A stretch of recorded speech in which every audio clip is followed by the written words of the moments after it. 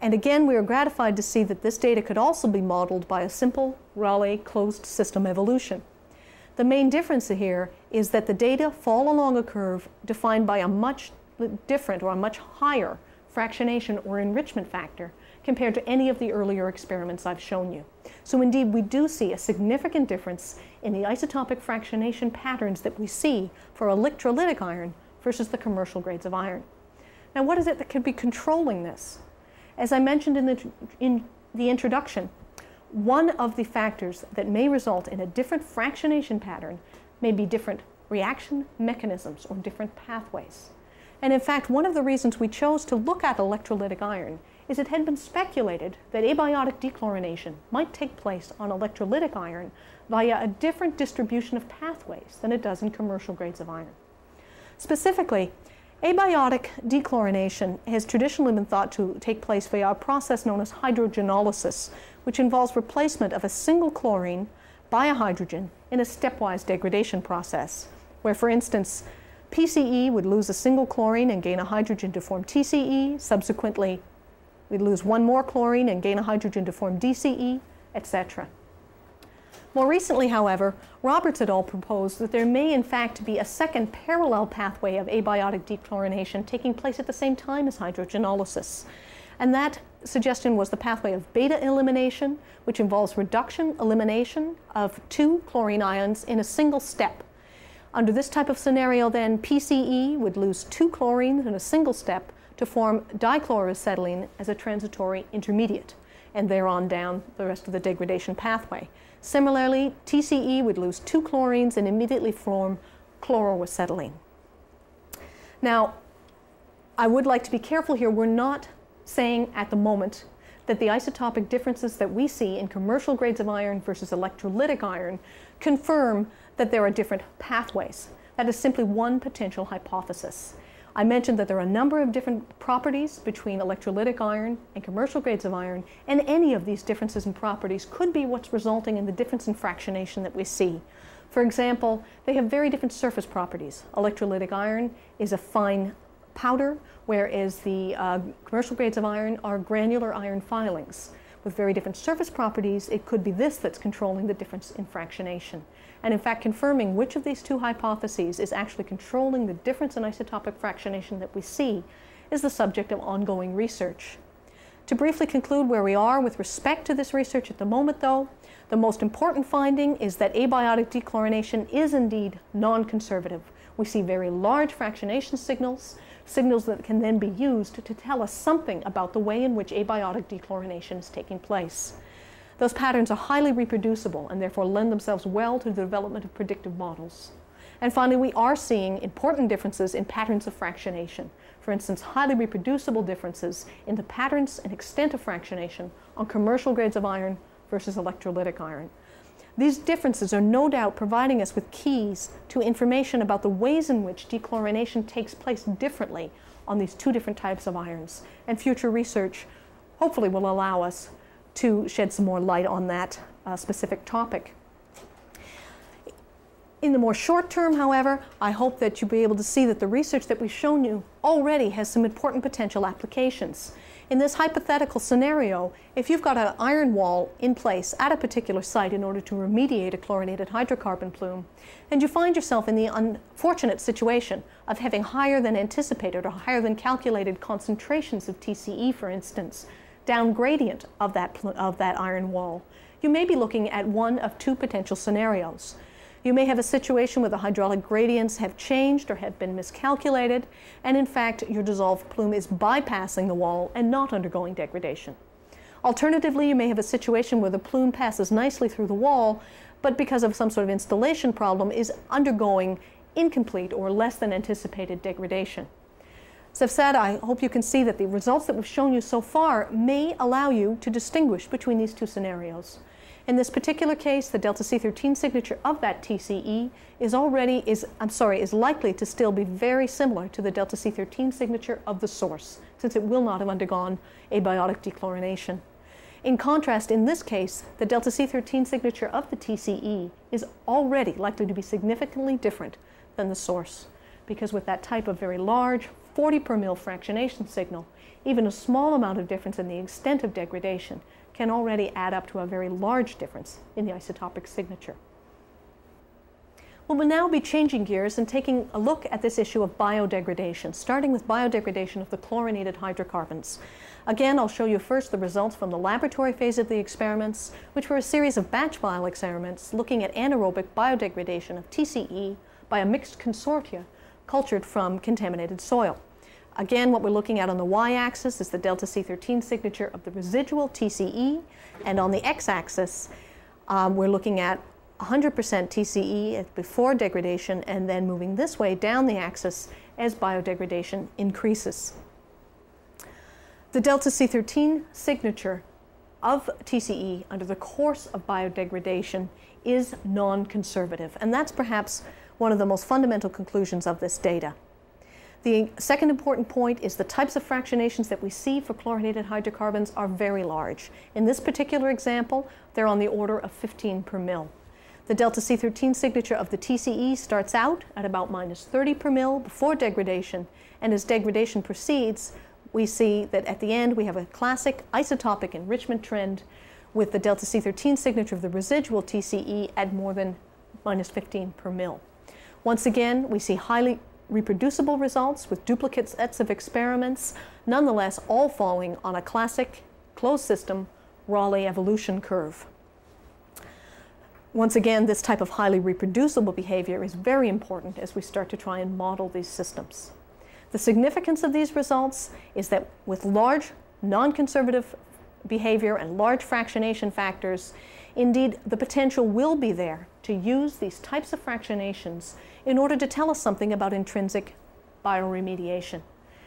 In essence, the large fractionations associated with biodegradation mean that the potential is there to use them to identify or distinguish between the effects of biodegradation and the effects of non-fractionating processes of mass loss, such as dissolution, volatilization, etc. We've carried out these experiments looking at a number of different compounds using a variety of different microbial consortia. Just to round this out, I'm going to show you the results for one set of experiments looking at anaerobic biodegradation of PCE in this case. Once again, we see a large fractionation over the course of the um, experiment. Once again, we see highly reproducible behavior, although obviously a little bit less so at this end of the experiment. Nonetheless, most of this data can be nicely fitted again by a single closed system Rayleigh evolution curve, which in, within this case, a fractionation factor of about 7 per mil. In a series of ongoing experiments, we're continuing to take a look at different groups of primary contaminants. We're starting as well to compile information about the isotopic behavior of the breakdown products in order to try and build them into more sophisticated models. We're looking at different microbial consortia and of course under different environmental conditions, both aerobic and anaerobic, with the ultimate goal of this phase of the laboratory experimentation being to try and develop quantitative data about the relationship of fractionation patterns to the nature and extent of biodegradation with the ultimate goal being developing predictive models that can then be used to try and explain field results. In fact, I did not want to leave you today without giving you some flavor of where the field component of this research is going. So in fact, the site that made the most sense, or the field study that made the most sense to highlight then, would be a site where it is believed that anaerobic biodegradation of a TCE plume is undergoing via intrinsic bioremediation. Essentially, we selected a very well-studied site where all of the other parameters that had been measured there led them to believe that intrinsic bioremediation of a TCE plume is occurring. What we wanted to do then is go in with our isotopic approach and see whether it could confirm or deny that interpretation of the site and give us a good comparison to the laboratory results. What we did then is selected a site that has a well-constrained TCE plume. Concentrations of TCE are shown in ppb and we're going from wells that have concentrations greater than hundreds of thousands of ppb in wells close to where free product has been found in the past. And then as we move down the plume in two transects, transect 1 and transect 2, we're decreasing to thousands of ppb, hundreds of ppb, and less than 50 ppb at the plume periphery. Given that their understanding at this site is that these concentration gradients are driven not just by groundwater transport, but by intrinsic biodegradation. What we wanted to do is to measure the delta C13 signatures of these wells as we move down those concentration or biodegradation gradients. In other words, we wanted to take a look at the delta C13 signature of the TCE as we went from the core of the plume, which is presumably the least biodegraded, to the plume periphery, which is the most biodegraded.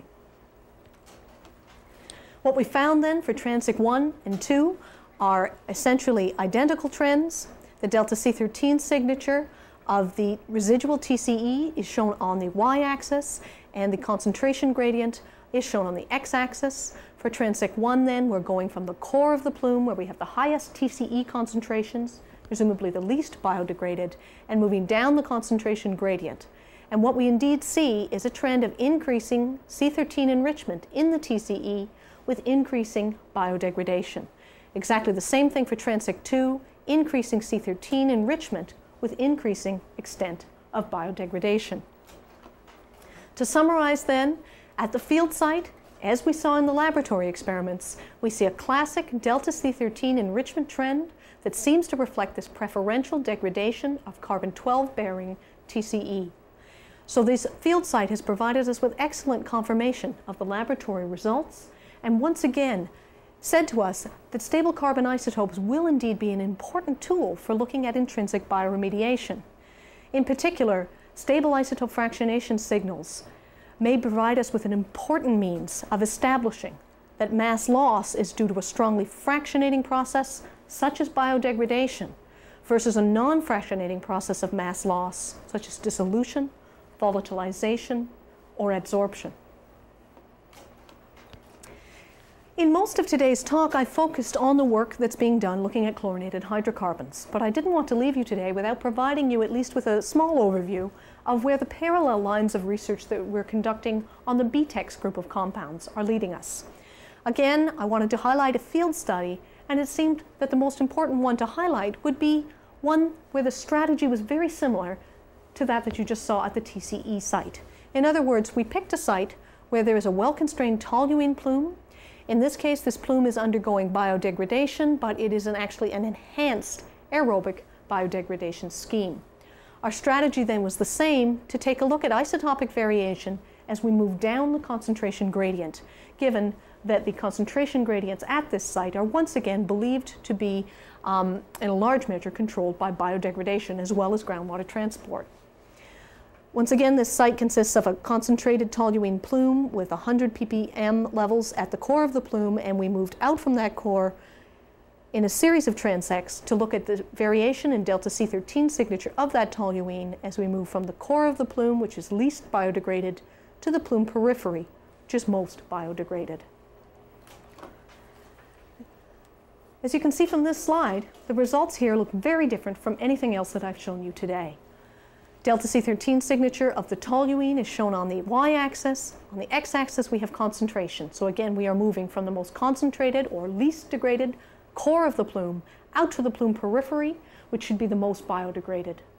Unlike anything that you saw for the chlorinated hydrocarbons, what we see here is for all 12 wells measured at the site, the delta C13 signature of the toluene is isotopically identical within 0.5 per mil, which again is the accuracy and reproducibility for GCC IRMS.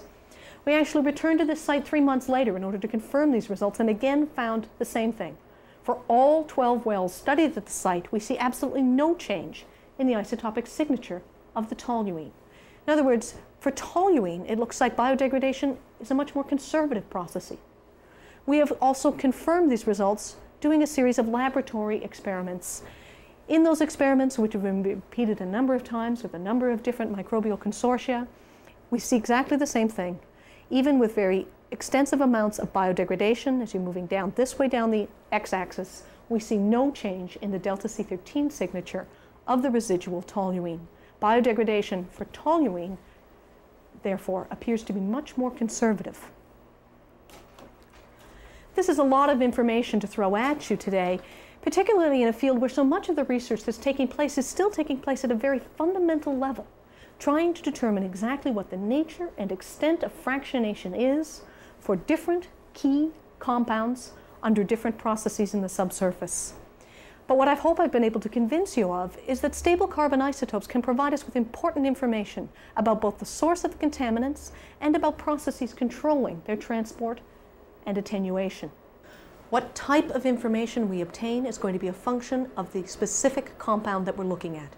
As we've seen, toluene and the BTEX group of compounds appear to behave much more isotopically conservatively and therefore to have more potential as source differentiators. In contrast, we've seen that chlorinated hydrocarbons undergo very significant fractionation under the action of subsurface processes such as biodegradation. Therefore, stable carbon isotopes provide us with more opportunity to obtain information about those processes. In the course of our future research, we're continuing to take a look at characterizing controls on conservative versus non-conservative isotopic behavior, and in particular to examine what appears to be this very compound-specific nature of isotopic behavior. Depending on their physical structure, different compounds will have different isotopic behaviors. The ultimate goal is to develop a quantitative database describing the reproducibility of fractionations under different conditions. Information that can then be used to build models that will help us with interpretation of more complex field sites. As I mentioned, a talk of this nature has obviously benefited from discussions and experimental help from a wide variety of different participants, and I'd like to thank a large number of these people here today. And in particular, we'd like to mention and thank the various funding groups that have contributed to supporting different aspects of this research. Thank you very much for your attention.